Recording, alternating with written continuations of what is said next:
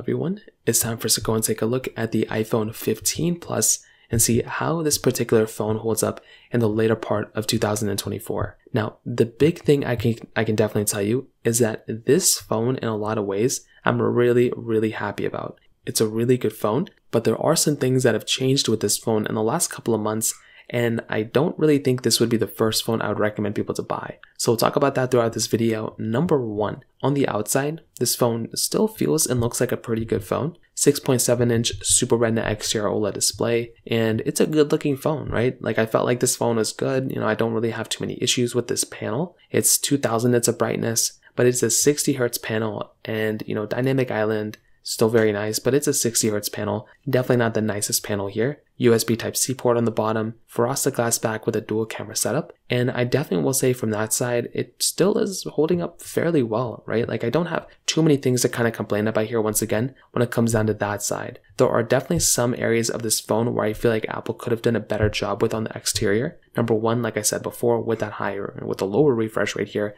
I feel like they could be giving us a higher refresh rate, which was kind of a downside. But also when it comes down to some other areas of this phone, I feel like Apple could be giving us a better experience experience as well. Now, another very big thing to keep in mind here with this particular phone is the fact that when it comes down to the software side, it's still holding up well, but it didn't end up getting Apple Intelligence, right? That is kind of a disadvantage with this type of phone because Apple gave the iPhone 16's Apple Intelligence it gave the iPhone 15, it gave the iPhone 15 Pro Apple Intelligence. It just didn't end up giving this particular phone Apple Intelligence, this and the iPhone 15. And I feel like that's kind of a downside. Like I feel like these phones could have easily supported it. And that is why in the last couple of months, what Apple ended up doing was that they actually ended up dropping the iPhone 16s, right? Now the 16s ended up getting Apple Intelligence, but the problem is with the iPhone 15 Plus is that this phone basically is the same price as an iPhone 16. So when Apple dropped the iPhone 16s, they dropped the price of the iPhone 15 Plus a little bit, but why would you go ahead if the iPhone 15 Plus and the 16 are the same price?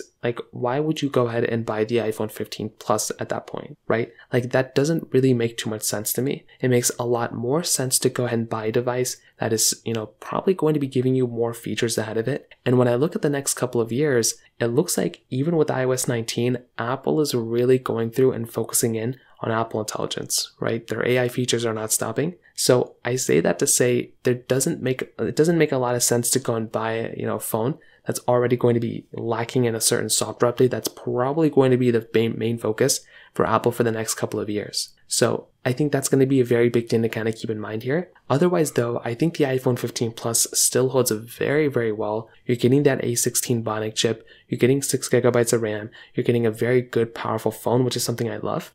But like I said, you're going to have to kind of think about with, you know, when it comes down to this phone, how it compares against some of the competition around it. So that's kind of what I say. I think the 15 Plus is a great phone, but if you can, I would recommend buying an iPhone 16. Or if you want to go in the used market, you might as well go ahead and buy a used iPhone 15 Pro at that point. So I'd love to hear your thoughts about this. Let me know in the comment section below. Hit the like button, that would mean so much, but definitely hit that subscribe button. More importantly than everything else, I love every single one of you guys. Hopefully I'll catch you guys in the next video. Peace out till then.